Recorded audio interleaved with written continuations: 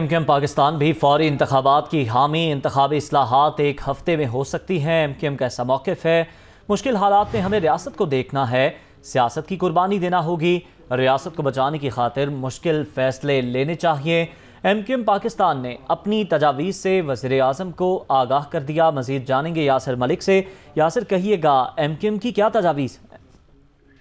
जी बिल्कुल एम के एम पाकिस्तान भी फौरी इंतबात की जो है वो हामी निकली है। एम के एम पाकिस्तान ने अपनी तजावीज़ से वज़ीर अजम शहबाज शरीफ को आगाह कर दिया है। एम के एम पाकिस्तान ने पेट्रोलियम मसनूआत की कीमतों में इजाफे की भी मुखालफत जो है वो कर दी है। एम के एम पाकिस्तान के रहनुमाओं ने इस्लामाबाद में साफियों से गैर रस्मी गुफ्तु करते हुए कहा कि पेट्रोलियम मसनूआत की कीमतों से मुतल हुकूमत अमीर और गरीब में तफरीक रखे। और मोटरसाइकिल वालों के लिए कीमत अलग और जो गाड़ियों की टंकियाँ भरवाते हैं उनमें फ़र्क किया जाए। एम के एम ने कहा कि आम इंतबात जो है वो इन मसाइल का हल है। फ्रेश मैंडेट लिया जाए। देर की तो बदनसीबी होगी। इंतबी असलाहत एक हफ़्ते में भी हो सकती हैं। एम के एम पाकिस्तान की जाने से कहा गया कि मुश्किल हालात में हमें रियासत को देखना है या सियासत को ये भी फैसला करना होगा।